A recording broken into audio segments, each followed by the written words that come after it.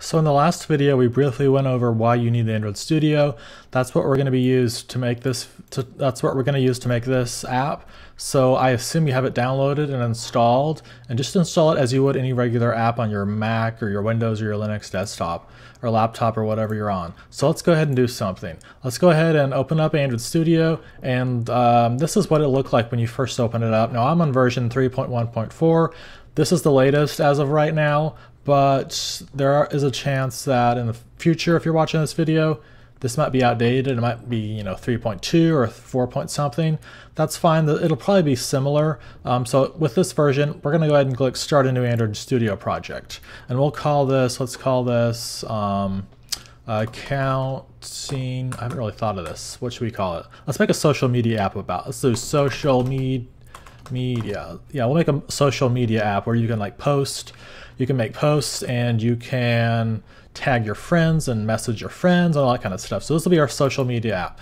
So this is the name of the app. So and this can be changed later and this is not the same as the title that will be in the Play Store when you submit it to Google Play to put it in the store, which which by the way you're going to need $25 to do. It's a one-time $25 fee to become a developer. So you fill out for the application name, put that in. For domain, if you don't have a domain or if you don't know of any, just put example.com. That can be changed later, so it's not that important. It's a little bit of a hassle to change, but not that big of a deal. So just put example.com, or if you have a domain name, or if you have a domain name and know what that is, you can put in something like there. Now for project location, that can stay the same. And everything else here looks good. Make sure you have the checkbox next to include Kotlin support and click next. So this is kind of uh, an interesting screen here. In most cases, you can just hit next, but I want to I want to briefly explain what this does. So when you build an Android app, or just backing up a little bit, every year, about every year, Google releases a new version of Android.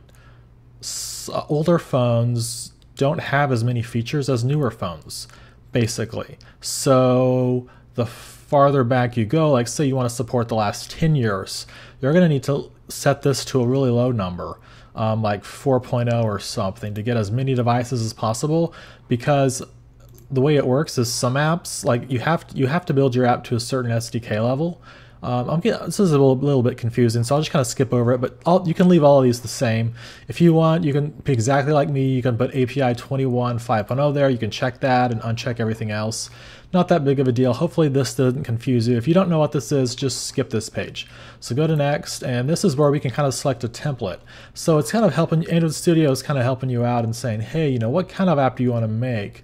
We can kind of get it set up for you. You'll still have to do some coding, but we'll get it set up for you at least. So there are all these different templates you can use. And let's go ahead and click basic activity and that just has a title and a has a title up top and a floating action button. So just click basic activity and hit next.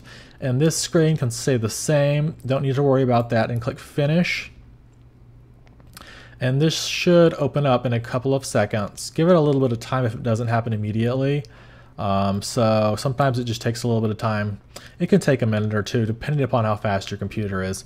I'm on a fairly fast computer, but here we go. So it looks like that worked and we didn't get any errors. So hopefully by now you have Android Studio and you just follow the steps in this video to get a project up and running. And you're probably looking at this and wondering what this is or like this weird layout width and height and text and stuff. We'll cover all of that in this series. So in this series, in this video, I just wanted to basically get set up and, or not get set up, but just set the, set the app up, which is what we did. So let's go ahead and just stop the video here and I'll see you in the next video.